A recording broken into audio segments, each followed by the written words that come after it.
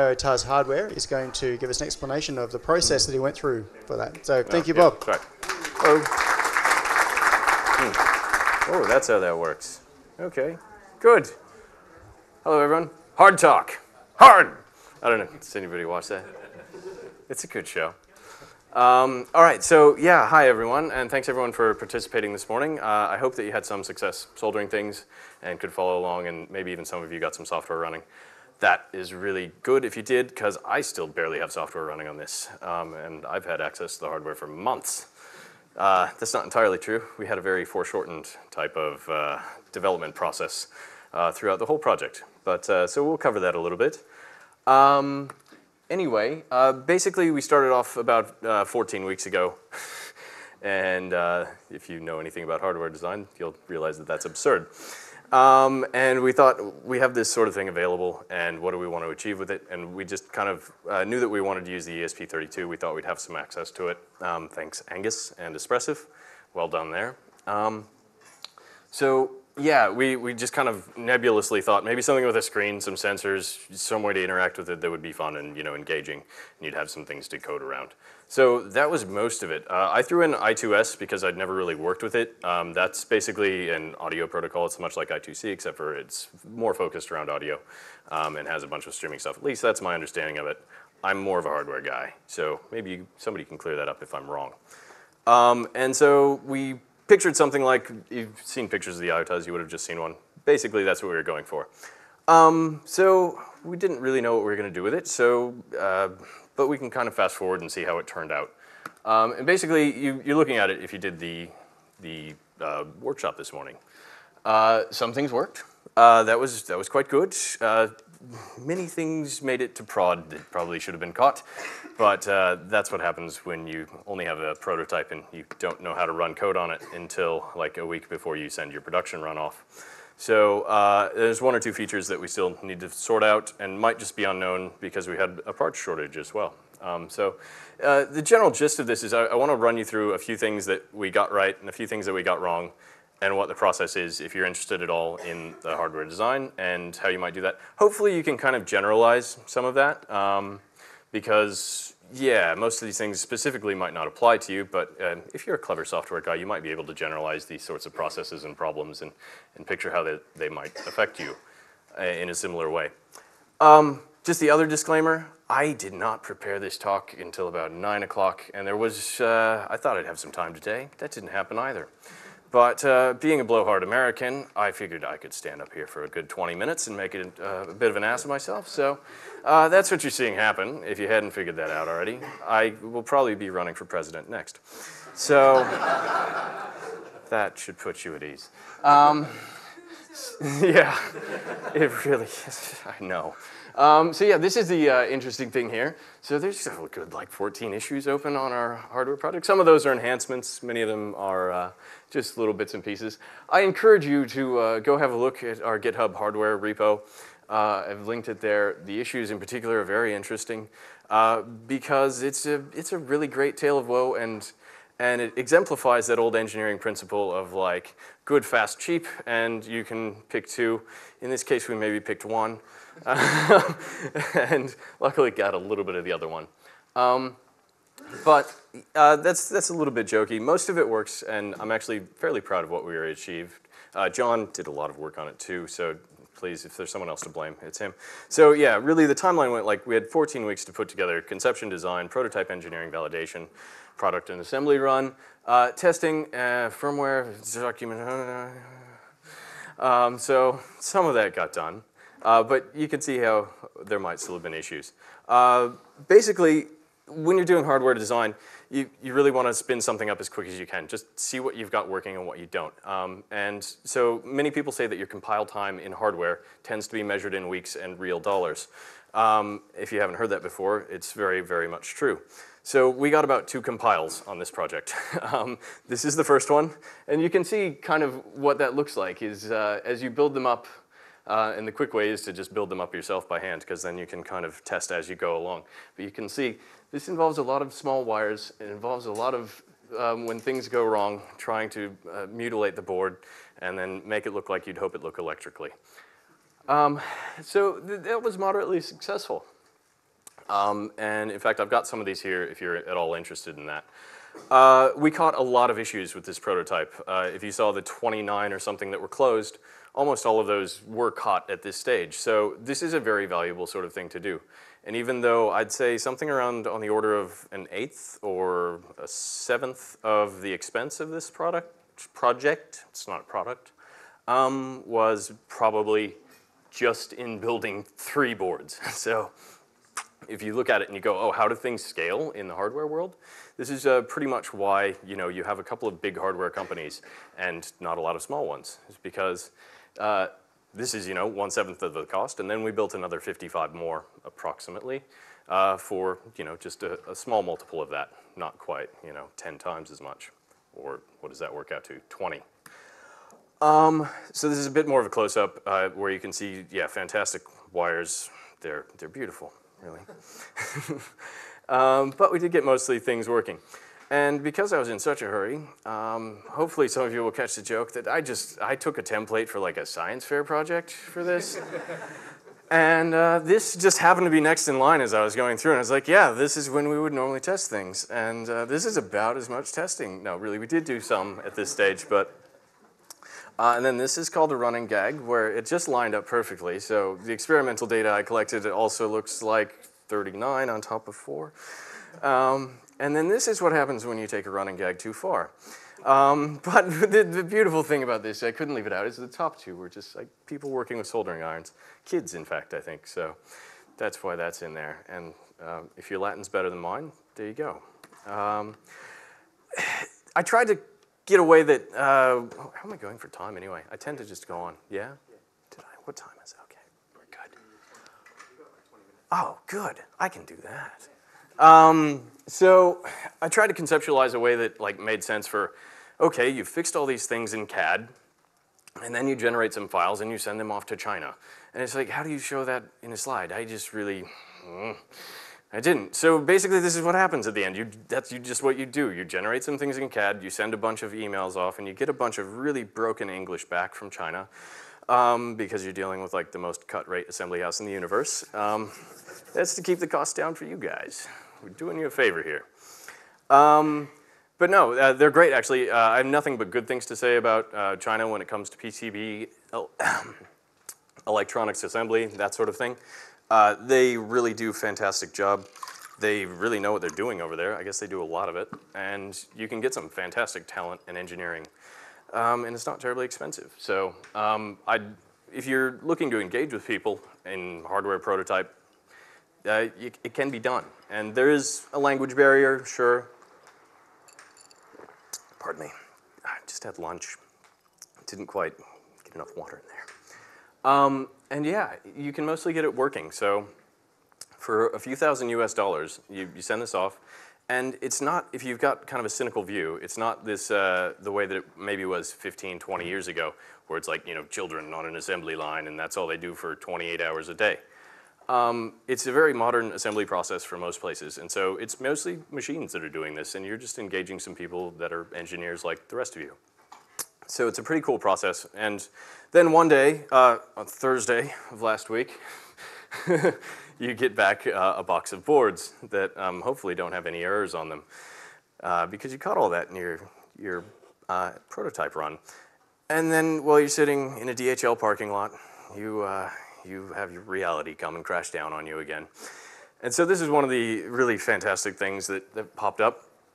And if you have one of the boards, you'll, you'll notice that this IC is on there. And then the, this IC over here has also been pulled up and bodged a bit. So those are the issues I was talking about that made it to production. Um, so what went wrong there? Uh, basically, that step where I told you I didn't have a good way to visualize it and show it to you, where you generate some files and send them off to China. Well, when you do that, it's sometimes you mess up. And that's what I did. I deleted one line thinking, ah, that one shouldn't be in there, and it should have been. And that only cost us oh, a good couple hours of work. And then right next to it, I didn't have time to put in the arrow. It's very laborious putting in arrows. Um, there's a fuse there that I had specified, but I had let them do some BOM replacement. So what that means is that you just basically say, this is the thing that I would want if you can get it. But if you can't get it, just put in whatever you want that meets the same specifications.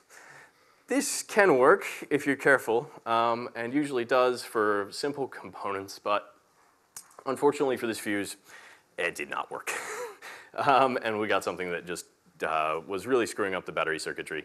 So um, there's a lesson in there, I guess, which is you've got to control what you can.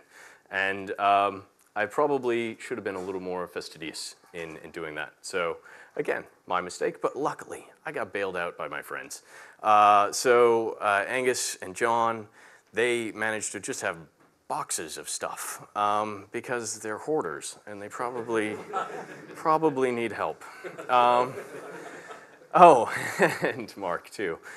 Mark, this chip that's missing, this is uh, what we describe as a hipster chip. Uh, Angus coined this term, so if you see that coming up, um, basically Angus uh, is kind of a uh, uh, yeah, well, he's a hipster, obviously. Um, he lives in Coburg, and look at him. Sorry, Angus. Um, but uh, yeah, so he sourced this chip for last year's project, the ESPlant. It's a uh, charge control IC, and uh, you can only find it in one back alley in Shenzhen, apparently. Uh, no, like, it's probably true. Um, yeah. Uh, no, no, it is. Yeah. I'm totally old. Um, but uh, luckily, Mark had a year ago just decided to order something like 25 of them and it had them in a drawer and never use them. And so that's what's on the boards of the ones of you that are taking home charging bits. Oh, John had done the same thing. So um, that does come in handy. So never throw anything away, I guess is the moral of that. And that's why you all use Git, I'm sure, right? Like if you you know, if your development process was perfect, you'd get it right the first time too, or the second or the third, like I did. Um, so that's some of the things that went wrong there. Oh, I should go back. Uh, some of the things we got wrong at the prototype stage that were worth catching and worth doing the prototype was the documentation is much better for the 32 than it was for the 8266. However, there's some fun things in there. One of them we had, if you don't read carefully, there's pins labeled GPIO. And if you're in the hardware world, you'd know that this means that uh, general purpose input output, which is you'd think, it, you know, you can send data in or you can send data out. And then you read about this fantastic feature, which is really quite cool about the uh, I.O. matrix, or MUX, what do they call it? Matrix, right? Um, so you just like, you read the, the line on the data sheet that says, this is called GPIO, and any GPIO function can do these things. And then you find out that like four of those pins are not GPIO, they're GPI only. And that's in an asterisk on note number three on page number 39 of the uh, technical reference manual. So uh, it helps to know what's going on under the hood.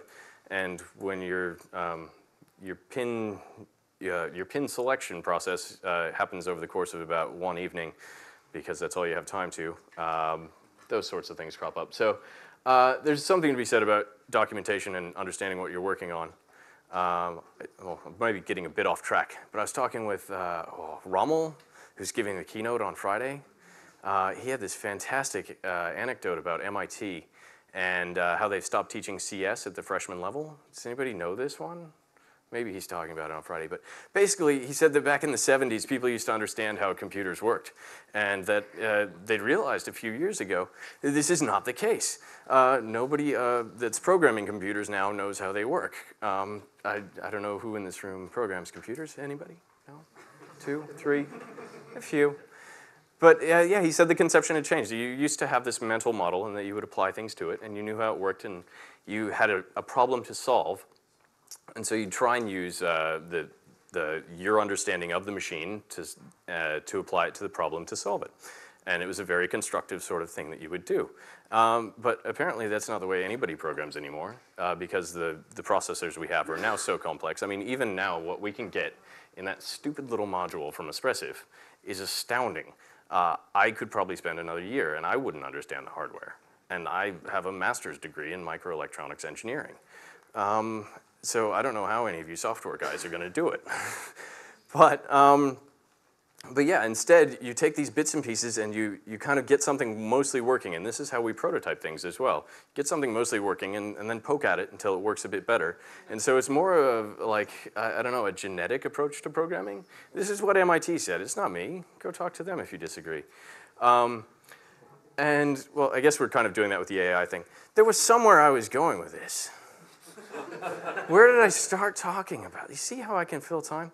Um, that was really, yeah. No, I had a point. It was such a good point.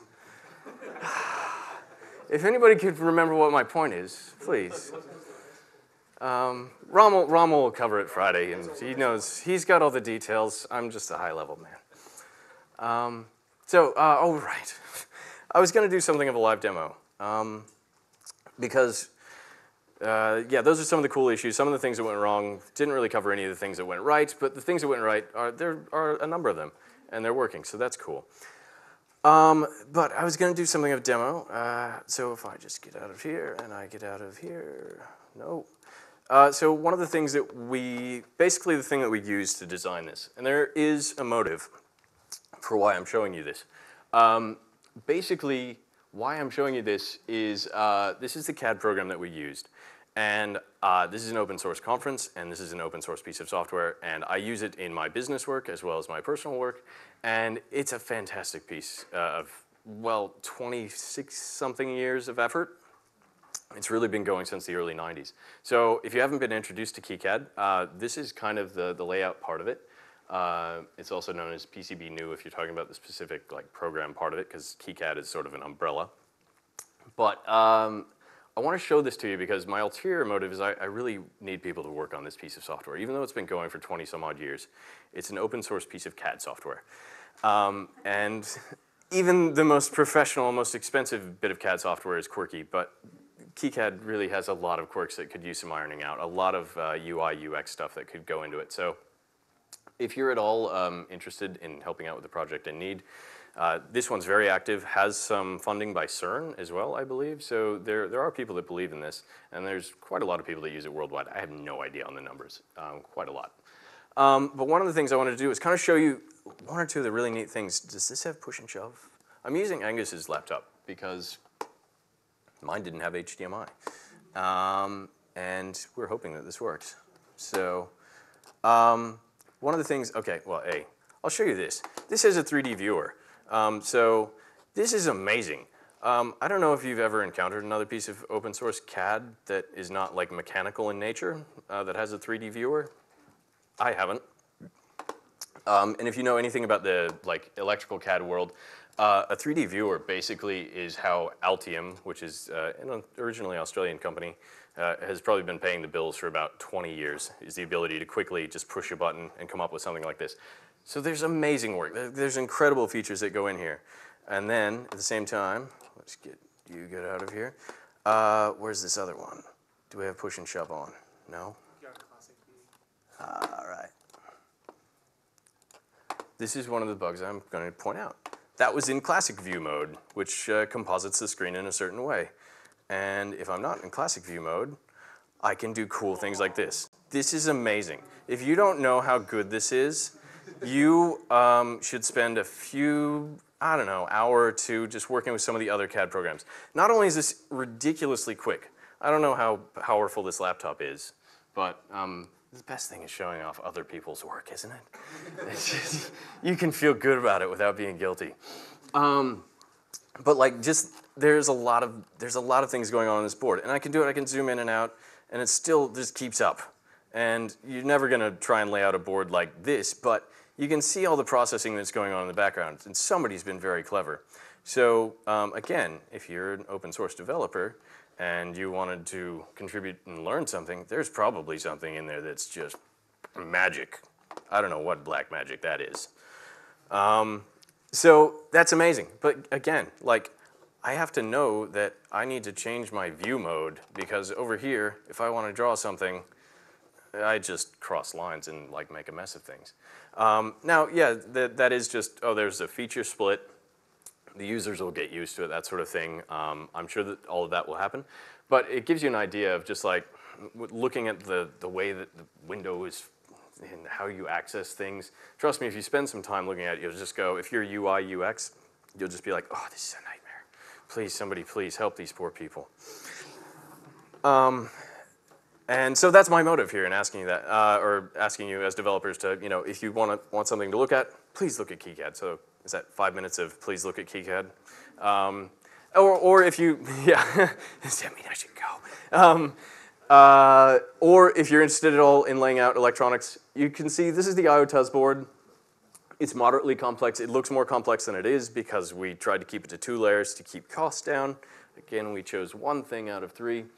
Um, but you can do very complex stuff. The board that is recording this conversation as well was done by Tim Ansell, is that the right name? Yeah. Go look at that board if you want to see something. And go, it's open source. Go look at the design files if you want. Load that up in KiCad, done in KiCad. Um, and it's an impressive bit of work as well, about 50 times as complex as this. Um, so yeah, if you are just getting started, it's worth looking at for that as well. Um, so uh, yeah, there's a couple of other niggling things that I could tell you about, like the schematic program, uh, which is the other part of design. It, like the only output it has is, uh, what's it called? XML, I think. So is it 2003, something like that? I'd rather not have my data. I'd rather tell you about my data so that you can give me my data. Um, if you're trying to deal with engineers, that's not the way to deal with engineers. We'll, we'll gladly take that CSV because that CSV is the only thing that the assembly house takes anyway. Um, so there's little things like that, but um, I'm sure that if you went to the issues list for, for, this, you could find a million things and help out. Um, so that's enough about please help out. Um, thank you for anybody considering it. I, I, really do appreciate it. That's great. Um, oh, we stopped presenting? No. Um, so that went. So please contribute. how are we doing? Is there a clock on here? Okay. All right. Um, I think that's a bit it. Uh, oh yeah, I do run a personal consulting business. Uh, I do electronics design for hire, so I'm going to plug myself here because I have an audience, and that's what good business people do. Uh, I'm not going to tell you a lot about it, but if uh, if you know of any projects, uh, know of anybody that does, uh, give me an email, give me a call. I'm happy to talk. I'm based in Melbourne. I generally do much more professional type of work than you would have seen in this presentation, or even on the hardware design for this uh, project, I will demand realistic timelines for people that are paying clients. For some reason, if you're getting it for free, uh, I'll, I'll, give it a push on that one. But um, it's strange how that works. do, do you open source developers put in more effort on your, the stuff you're giving away for free? Anybody? Okay, maybe that's like a dirty, guilty secret that you're sitting there nine to five. This is great. And then six to 12, three in the morning. Who does that? You're just like, God, let's go. um, okay, nobody raised their hand. That would have been me. Um, also, hardware stuff, uh, yeah, it wasn't just me. There was like a million people that did some part to just the hardware on this. Like, this is just the list of people that helped out on hardware bits. Uh, John's back there. Uh, Andy, of course, uh, was the first person I gave a prototype to and helped me validate it. Uh, Mark writing all the code and also helping to validate the hardware. Angus just generally knowing anything about the chip that we're designing around um, is a massive hardware help, and he, he helped debug a lot of stuff too. So, um, and then uh, Fernsey in here, Fernsey at the back did some 3D models. It's awesome, by the way. They're really helpful to be able to switch over. It's just magic. Um, and John, of course, and Stuart also helped out in some of the last minute bodging, which shouldn't have been necessary, but again, that happens. Lots of other people did too. Um, I just I thought it would be interesting to try and list in the last three minutes of Angus's talk, as I was making this slide, uh, some, some of the open source projects that that contributed to this. Because if you start going down that rabbit hole, it's silly. It's just absurd. Um, I mean, you start off and you're just like, okay, I've got my CAD program, and okay, oh, I've got my operating system, and I already know that that's a how many tens of thousands of developers and hundreds of thousands of development hours? Has anybody even estimated like number of development hours that are on like kernel in Linux? Does anybody know? Yeah, all, all, yeah, all the hours. And then that's like, oh no, and then there was, you know, there was just spreadsheeting. And then there was just some hasty documentation work. Scribus has actually gotten a lot better. Anybody use that? Um, yeah, I, uh, it used to be terrible. It's getting better. Thank you if anybody contributed to that. Um, Inkscape, uh, if you don't know Inkscape as well, oh, there's a piece of software. Uh, it's really good. just go use Inkscape if you want to feel good about the world. Uh, no, it's true. Um, and then, yeah, there's other open hardware people as well. Uh, Adafruit and SparkFun do a lot of libraries, a lot of just tutorials.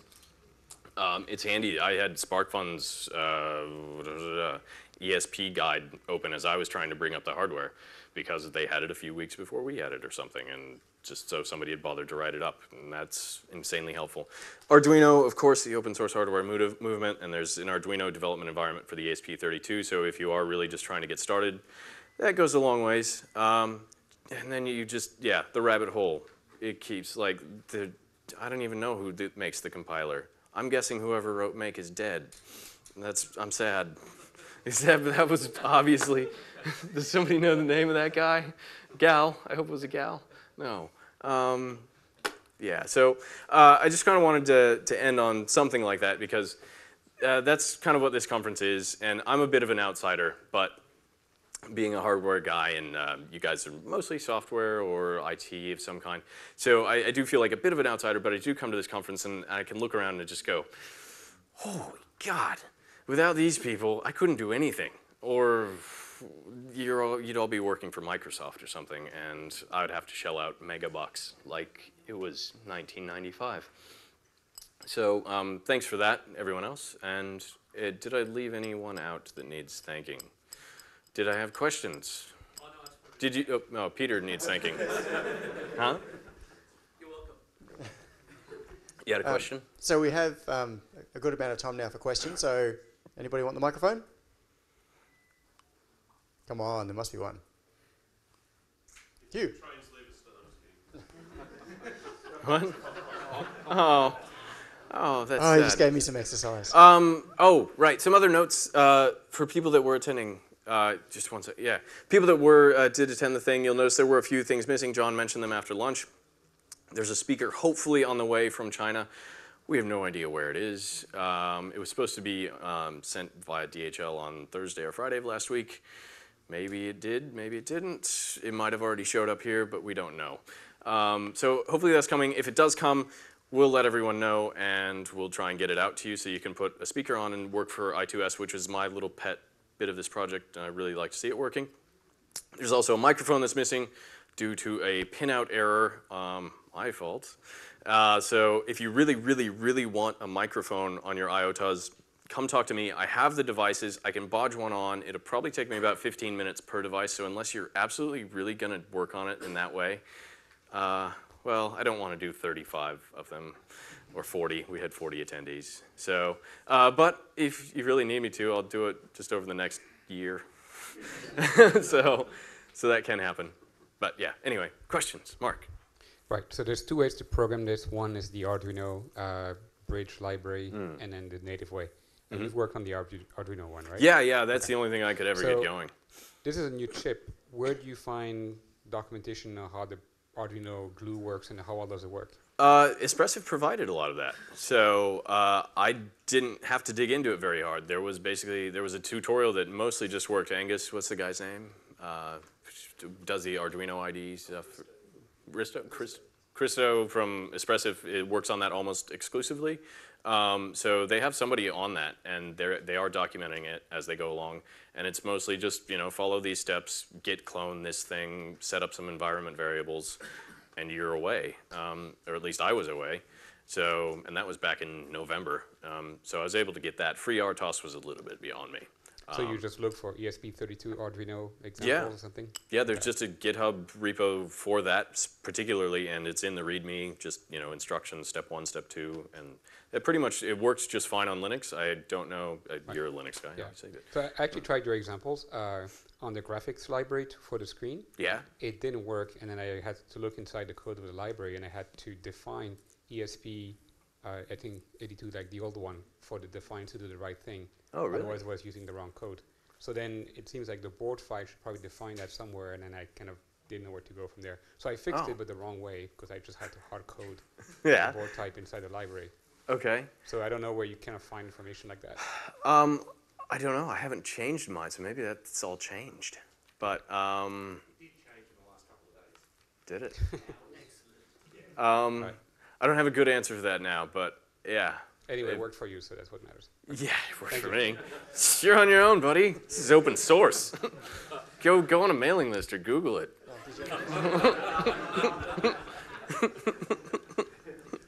Are the Kai, KiCad files uh, in GitHub?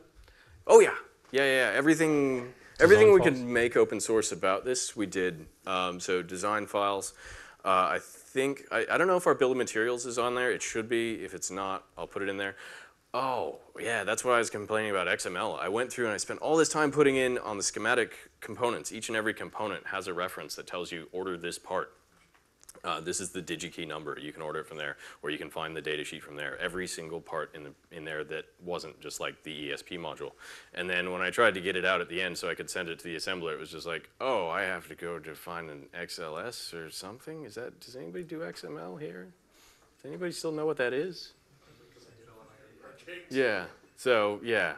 Um, yeah. So right, and that was me too. Um, but I got a, I got a text file dumped out eventually and was able to do it. And that's another neat thing about KiCad is almost everything's stored as a text file. So uh, even though I'd like to, like to have some of the like nice, oh, I'd like to select every 10k resistor in my project uh, type of filtering, uh, there's no GUI way to do that. But you can definitely do a search and replace um, if you just open up the project file. A little bit fast and loose and dangerous, but you know, um, it can be done, uh, and I do it sometimes. So that's pretty cool because yeah, having it's mostly binary representations in a lot of other CAD programs. So to have something that you can open up and go human readable and just be like, all right, this chunk obviously represents this part. Um, if I edit that, I'm going to edit that. Um, it's pretty neat. And so you could script it. You could do a lot of that powerful stuff that I mm, don't know how to do. But yeah, so it's all on GitHub. We tried to make it as uh, we tried to document as much as possible. Failed, um, and so yeah, keep keep an eye out there. If there's anything you want to know, just yeah, let let me know. Submit an issue, and we'll we'll get it in there. So So, um, for those of us who registered for the conference really late and missed out, are these going to be commercially available once you've got the bugs fixed? Um, I'll gladly fix the bugs. I'll, I'll need people to show interest uh, before we could put together another sort of production run. So, um, yeah, if, absolutely. If people are willing to pay the costs, it's a little bit on the expensive side for something of you know comparable nature. But if people are willing to pay pretty much what it costs, um, it cost me very little cognitive overhead to just like send off an order of a couple hundred to, to China. Like all the assembly stuff is basically done. So if I want another 10,000 of them, I can make another 10,000. But I'd need to have the people to sell them to or give them to. So yes, if if people want it. So I don't know how we would register that interest if there is that interest. Is there that interest? Who would? Does anybody know how you solve that problem? Yeah, Andy. Andy's going to be solving that problem. He'll be using C. Um, there'll be, yeah, 28 pages of makefile, but it'll work. yeah. I'm just wondering, have you documented the microphone hack that you said was going to take you 15 minutes so I can do it at home No. myself? Uh, no, I haven't. Yeah, I can do that. Um, because yeah, if you're if you're handy, it's not hard. It's just three little wires that would need to go to a device. Um, yeah, I'll do that. Absolutely. If you, if I don't, please can you remind me somehow? Awesome. Hmm? yeah, issue on GitHub would be great. Another. Yes. It's kind of off to the side, but what's the two parts? What's the KiCad Hello World, and what is the kind of simplest thing I'd want to send off to China to be built for me? Um, I mean, you can just design the most basic circuit in the universe. Is just you know get a get a resistor and an LED and get something that lights up. Um, Just a breakout yeah. for one part, even. Yeah, a breakout for uh, an ATtiny breakout is a fantastic one if you're familiar with the ATtiny. Uh, because yeah, that's a good one, John. Um, yeah, you would just have to put down some traces and design one component. Like you could use somebody's library, but I'd encourage you to design components yourself because of course you can do that. Um, and yeah, you'd run through basically you know 90% of what you'd need to send something off. Uh, and yeah, when I yeah, if you're saying China, generally I go to China for uh, production assembly. If I'm looking just for PCBs, there are a lot of local options that can be Uh, more expensive, but quicker and higher quality. And I do tend to support more local things because I like to keep those alive. Because when I need one day turnaround on PCBs, I need it, um, and that doesn't happen when when all of those go out of business. So. Uh, yeah, try something like that ATtiny Breakout or just like a blinking circuit. Or we've got a BuzzConf badge. If you're familiar with BuzzConf, uh, John designed a badge for that, which is a very simple like learn to solder type of exercise. Uh, you could look at a project like that too. Would and that one's great because it's got some really complicated like board layout stuff that would show you how you might be able to manipulate some other things that you wouldn't otherwise think about, except for just like I'm going to make a green rectangle because everything's a green rectangle in the electron. That's sorry, that's me being an engineer. I was impersonating an engineer. yeah. that one's clever. Uh, any more questions? Yes. Yeah.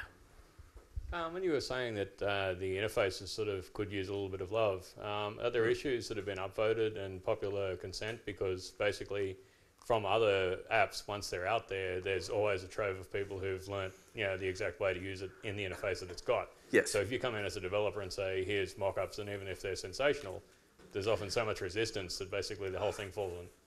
Yes, uh, that's a great question. And yes, you do see this. In fact, I, I've seen this quite a lot with this project in particular.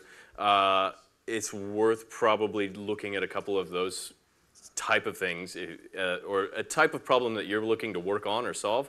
Look back in the history of, it used to be on um, uh, Launchpad, the, yeah, and now it's on GitHub. So you'd be able to get go back through some of the issues and see what the maintainers have kind of said to those sorts of things before, because there's a few things where they give a bit of pushback, and the maintainers would probably not. Be, they, even if you gave a fantastic solution, they'd just be like, "Nope, this is the way it is." So. Uh, that's dealing with open source maintainers, uh, so that that's maybe a, a, bit of a meta problem or a social problem. But um, yeah, that, so there is a little bit of that, and I would be a little bit careful. The maintainers are very very hardworking people. I'd like to thank them one more time. If any of them ever see this, they are fantastic and they've contributed a lot to my life. Uh, but yeah, that that's them.